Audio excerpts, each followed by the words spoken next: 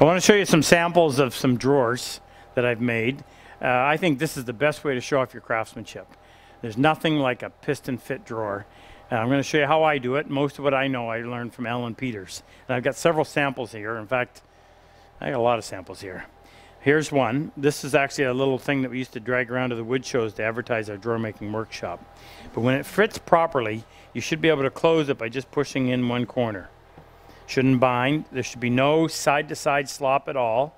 There has to be up and down to, for seasonal movement. But you want that to fit and just slide. Literally a box in a hole. That's all it is.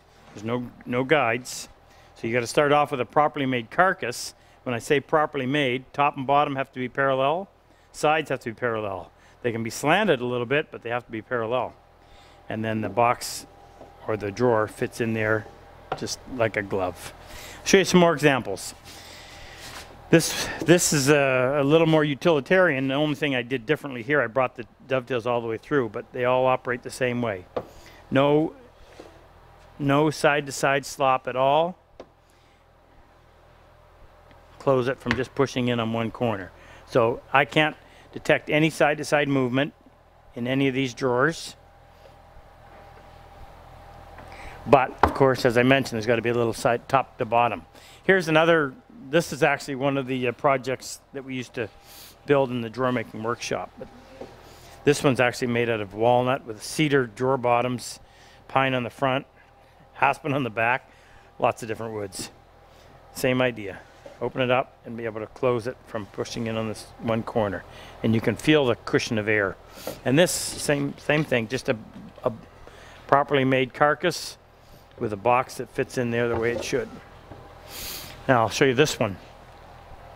This little tiny one. Same idea. Ooh, look at that one. Binds. Not good. That one needs to be waxed. That could fit a little bit better than that. Show you some more down here.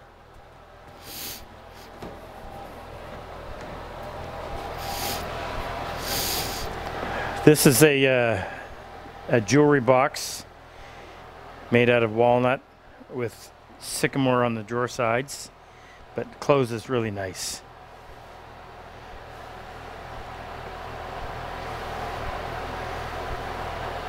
And this one has eight small drawers in there. Same idea. No side-to-side -side slop, just a little bit of movement top to bottom. This one's made out of bird's eye with walnut sides. So let me show you how you do that. I'm not going to go through the whole process, but I'll give you a, an idea. So here are the parts that will make this drawer. There's my drawer front, drawer sides, and drawer back. So the way I typically do it, of course you make the frame for, or the carcass first, and then I'll take this drawer back and I'll go in and I'll get it to fit the opening exactly top to bottom tight, side to side tight. When I say tight, meaning as you get it to fit into the opening, you should have to push it the same amount top and bottom. It wants to be snug, but not, not tighter one side than the other, or not, not tighter at the top than it is at the bottom. Once you get that done, and the reason why you start with the back, if you happen to screw it up and take off too much, you can always go get another back. But your drawer front is made to match. In fact, this piece came right out of there uh, figure out which way it goes. Yeah, like that. So if you, you, now this is oxidized a little bit, but that grain runs right through. So I can't risk messing this up. That's why I go in first and get the back and use it as a template. Once I get the back fit perfectly, I'll take the back and referencing off of the bottom, line up the two bottoms, and then I would take a, uh, a knife, actually use a plane blade, and I'll go in and I'll scribe both ends onto the second piece, which is the drawer front. Now I can go over to my shooting board and I've got a line to follow. Instead of coming over here and trying to fit trial and error, I have to just take it to the knife line and then that should be the same size as the back and it'll fit the same way. Once you've done that, you start on your drawer sides. And the first thing I do with my drawer sides is I get them, always reference the bottom. But once the bottom has been planed and it's nice and straight, I don't touch that again. Any alterations are going to happen on the top. And I want that to just barely fit in there. meaning I want it to be snug. Get that to go in front to back, get them to length. Then I can go ahead and start to build the drawer. And when I build the drawer,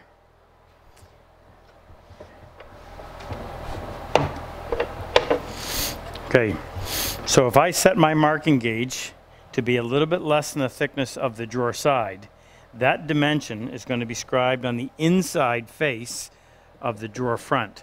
So when I put, and of course on the back as well, when I put the drawer together, because the marking gauge line was less than the thickness, when this comes up tight in here, it's still going to be proud, meaning the drawer is going to stick up beyond the ends of the pins, both front and back.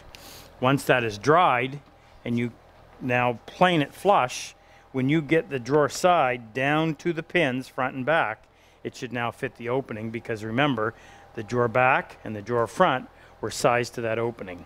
That also allows you a little bit of room to clean up the top edge to get it the amount of slop that you need or the amount of space that you need in order for that drawer to fit top to bottom as well. This one's a little bit snug, but it still needs, I, fortunately, I'm still, I've been working on this for a while, so I'll let that acclimate a little bit more and then I'll go back in and give it a final fit, get it perfect. So that's drawer making in a nutshell. Requires a lot of precision. I will say this. In order for this drawer to work properly, when it sits on a flat surface, it can't rock. You can't have corner to corner movement. That's got to sit perfectly flat. I just said that. Hopefully it wasn't sitting on any dirt. I should say, I hope it was sitting on some dirt.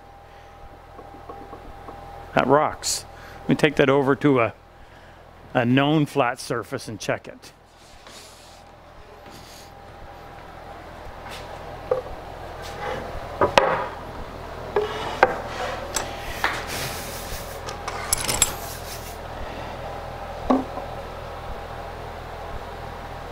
Okay, no movement there. It's time to flatten my bench again. In order to get that kind of a, uh, uh, that level of precision, you have to use a shooting board. You go in with your shooting board and make sure that all of the pieces are square before you start. If you use the little 140 trick where we use the skew block plane to cut that little rabbet, that'll help register the two pieces so that when you put this together, there's no twisting. And by that I mean I assemble this corner, then I assemble this corner. So now I've got a U-shaped piece. The last thing to go on is the other side because the dovetail only goes together one way. So you put this one in, and when you come over here, if you've got to move it, shift it one way or the other in order for these to line up, you've already lost your fit. So satisfying to start tap, tapping this one together and to come over here and see that they're lined up perfectly and you just have to tap them into place. Then you know you're going to get the fit that you're looking for. Any twist, you can't get rid of it. In the process of trying to get rid of it, you're going to lose that perfect fit you're aiming for. Takes some work, but it's a lot of fun. It's very satisfying. You got to be careful. Can't be in a rush. You want to make sure your materials are good and dry. Always nice to use quarter sawn lumber if you can find it for your drawer sides. Anything that'll minimize drawer movement. Anyway, that's drawer making in a nutshell.